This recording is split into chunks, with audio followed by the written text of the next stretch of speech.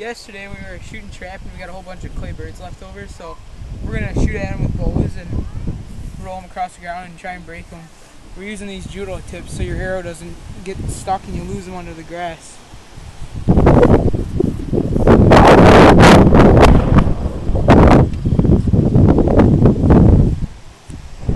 Oh! Oh, I nicked it.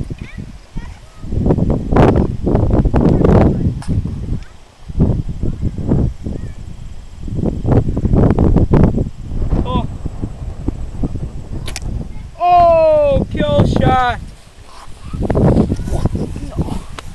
Really? Wow.